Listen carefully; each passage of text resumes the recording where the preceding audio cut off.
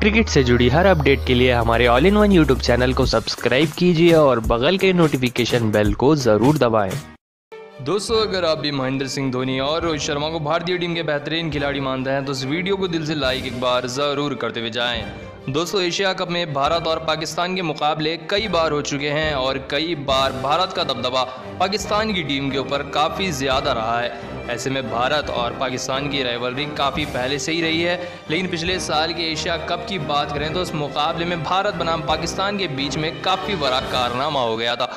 दोस्तों आप सभी को बता दें, जब गेंदबाजी कर रही थी भारतीय टीम, ऐसे में गेंदबाजी करने आए भारतीय टीम के स्पिन गेंदबाज युजवेंद्र चहल और बल्लेबाजी कर रहे थे पाकिस्तान की तरफ़ से इमाम हक। अब जैसे युजवेंद्र चहल ने गेंद डाली तो गेंद इमाम हक के पैड्स पर लग गई और युजवेंद्र चहल अपील कर रहे थे, पीछे से महेंद्र सिंह धोनी भी अपील कर रहे थे और इस मुकाबले के कप्तान रोहित शर्मा थे, क्योंकि विराट कोहली एशिया कप में नहीं थे।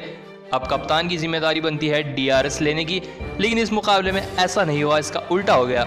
रोहित शर्मा डीआरएस लेने से पहले अंपायर की तरफ़ देखकर कप्तान के पहले ही महेंद्र सिंह धोनी ने डीआरएस लेने का फैसला करते हुए इशारा किया अंपायर को। जी हाँ दोस्तों, रोहित शर्मा से पहले खुद महेंद्र सिंह धोनी ने इशारा कर दिया, जिसे देख अंपायर खुद हैरान हो गए। ऐसे में अब उनके बाद रोहित शर्मा ने भी इशारा किया, तब जाकर अंपायर ने रिव्यू करने का फैसला किया और थर्ड अंपायर के पास ये डिसीज़न किया जब थर्ड अंपायर ने देखा कि ये क्लियर आउट था, क्योंकि बल्ले को गेंद लगी ही नहीं थी डायरेक्ट पैड्स पर लगी थी और गेंद जाकर डायरेक्ट विकटों पर लग रही थी। जैसे में देख इस चीज़ को थर्ड अंपायर ने क्लियर आउट कर दिया इमाम हक को। जी हाँ दोस्तों, इस चीज़ को देखकर खुद रोहित शर्मा भी हैरान हो गए कि कैसे मुझे बिना पूछे, रोहित शर्मा को बिना पूछे, महेंद्र सिंह धोनी ने रिव्यू लेने का फैसला किया।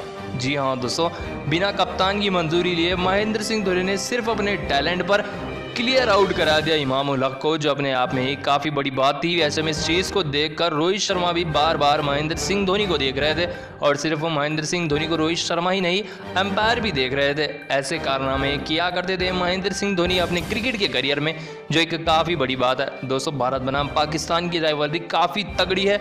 ऐसे मुकाबले में आपको काफ़ी ज़्यादा सतर्क होना पड़ता है, और काफ़ी ज़्यादा इंटेलिजेंट भी होना पड़ता है। जिसके चलते भारतीय टीम की तरफ़ से महेंद्र सिंह धोनी ने कई कारनामे किए हैं। सिर्फ़ अपनी बल्लेबाजी से ही नहीं, अपनी विकेट कीपिंग से भी काफ़ी जलवे बिखराए हैं मैदान पर, जिसके लिए महेंद्र सिंह धोनी की जितनी तारीफ़ की जाए, उतनी कम है। ऐसे महेंद्र सिंह धोनी का ये कारनामा काफ़ी ज़्यादा रोमांचक था। रोहित शर्मा और महेंद्र सिंह धोनी काफ़ी अच्छे दोस्त हैं। कितनी बार रोहित शर्मा ये भी कहते हैं कि महेंद्र सिंह धोनी की वजह से ही वो ओपनर बने और महेंद्र सिंह धोनी की वजह से ही उनका करियर इतनी उभरता हुआ आया है। ऐसे में महेंद्र सिंह धोनी का ये कारनामा देखकर हर युवा खिलाड़ी काफ़ी प्रेरणा लेगा और काफ़ी कुछ सीखने को मिलेगा नए खिलाड़ियों को महेंद्र सिंह धोनी के ये कारनामे से। दोस्तों, आपको महेंद्र सिंह धोनी का ये अनोखा कारनामा कैसे लगा? हमें कमेंट में एक बार ज़रूर बताते हुए